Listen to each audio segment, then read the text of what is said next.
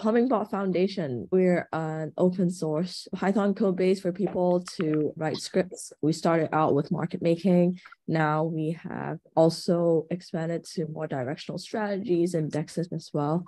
And the reason why we created Hummingbot scripts is because we realized that in our community, there are many people who are successful, who we found out that many have customized their own strategies. For Botcamp Cohort 3, it's a six-week core course. and I'll be creating additional modules down the line as well. For example, directional strategies, bot orchestration, etc. And basically, if you join Botcamp, it's an annual membership where you will have access to the Botcamp core course, additional events that we'll be creating mm-hmm. and courses and also our prioritized communities and channels where people ask questions about scripts and other things as well.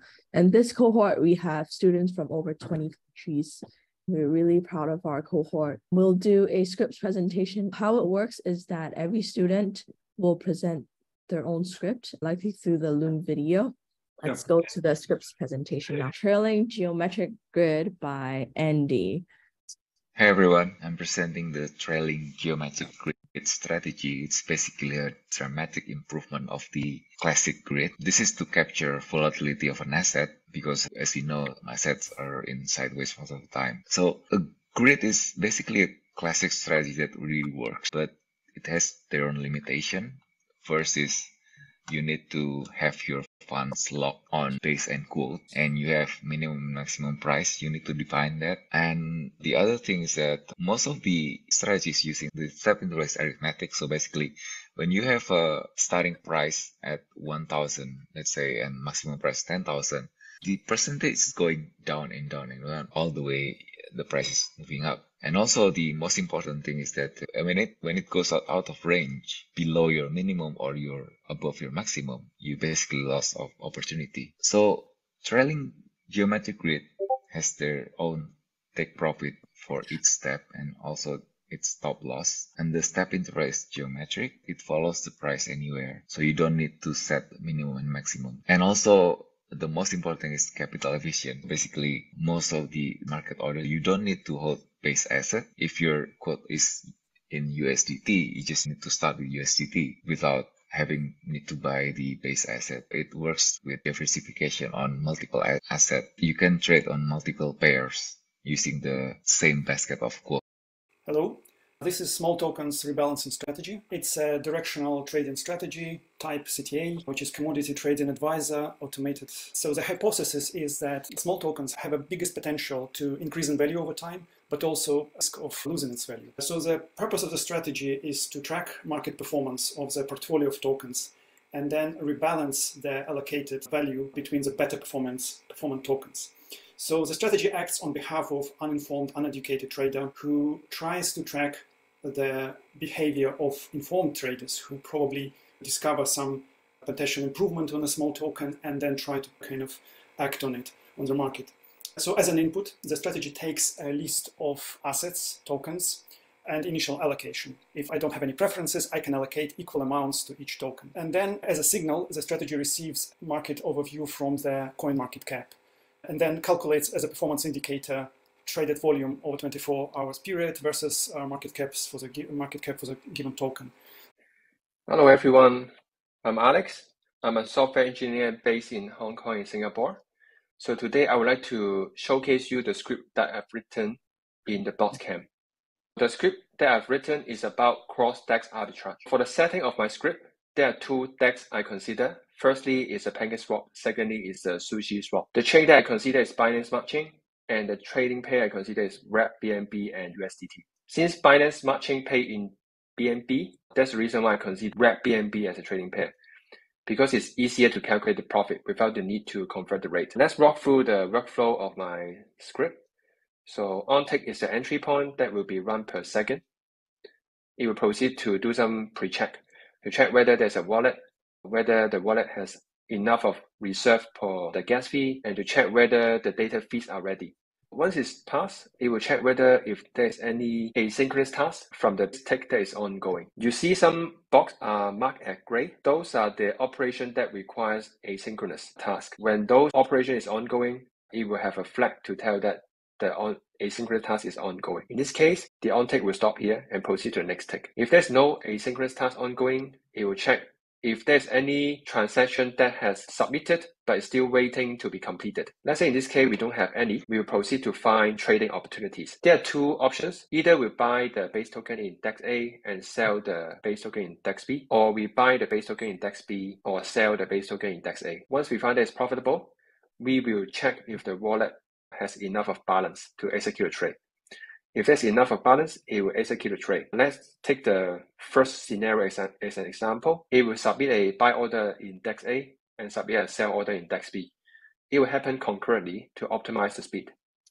And you can see that this operation will happen asynchronously so it may take longer than one second. In this case, I will toggle the flag to say that, okay, there's a asynchronous task ongoing. That's why I need to have this check. Once the transaction has submitted, the script will internally keep track of the keep track of the transaction as a state. And if the script found that there's such transaction safe in the state, it will proceed to query the transaction status of those transactions to see if those transactions has been completed. If they are completed, it will try to reset the state in the script. For example, it will reset the transaction that has been cached. Essentially, those uh, the transactions that are pending.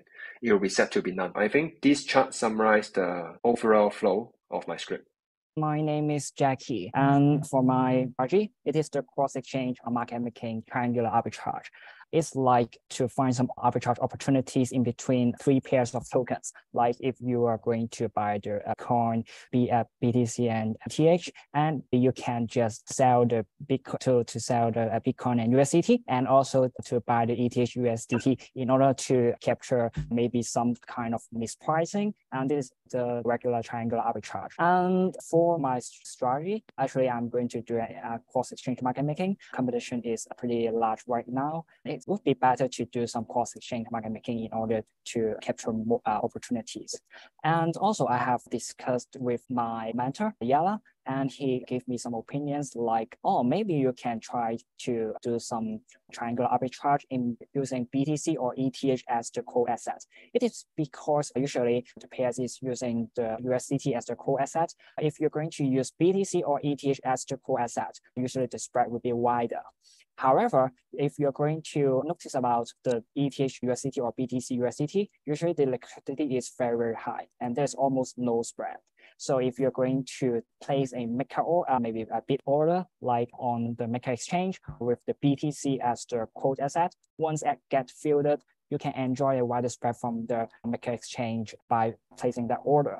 And immediately after it gets filled, you can just sell the pairs token with the USDT and at the ticket exchange and then buy back the BTC and the USDT. And usually the BTC USDT or ETH USDT uh, will get a very high liquidity and almost no spread. So you can just enjoy the wide spread and capture the, the spread difference in the market exchange with that low liquidity on using the BTC or ETH as a core asset, and then to enjoy the high liquidity and the narrow spread so that if once you get hatching the position in the tech exchange, you can enjoy the, the narrow spread and without losing much money in terms of the spread.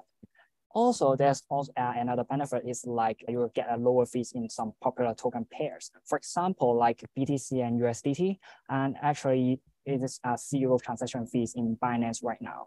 And no matter you are going to jam um, a um, maker or uh, a taker, so you can enjoy the, uh, the low fees with some specific popular pairs and in order to explore more opportunities and higher profitability. Good morning, everyone. So today I'm going to present a strategy that is about the illiquid token market making.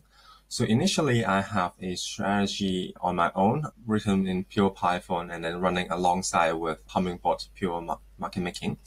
And then we found that the API limits, they are like getting blocked a lot of times because they're running multiple scripts. It's not a very use maximum utility of the API limits. So that's why we think it's a good idea to actually integrate everything into the Hummingbot. But we run out uh, of the ideas of how to actually make multiple strategies together. So I think in this presentation, I think the most important thing that you can take away is probably the running multiple strategies in Hummingbot script. So in, my script, I have two strategies. One strategy was actually developed by Fedi. It's a simple PMM with more dynamic price floor and ceiling, I just copy that script originally and then I just paste it here. And then I have another strategy is called the mid price strategy. I'll set a threshold price and then based on the threshold price, if the threshold price is greater than the market price, then the market, I'll just sell in the market on the limit order first and then buy in the market at the same price to actually artificially create the volume. If the threshold price is lower than the latest market price, then I'll do the reverse things. But in the script, if you want to change the strategies, you can just replace the strategies and then work on your own strategies. Explain you my strategy from the BotCamp, the CEX cross-exchange market making with rebalancing. The idea is to use a standard cross-exchange market making strategy to find arbitrage opportunities between exchanges, but also to include a rebalancing trade if the base asset or the quote asset uh, ratio gets too high. So the script above here, it's mainly the cross exchange market making, but here you can see calculate asset ratio on exchanges and the base asset percentage. And if the base asset balance is below a target base asset percentage, or basically both percentages for the quote or the base asset, then make a rebalancing trade. The in here that basically shows the cross exchange market making above and below here, it is the rebalancing part.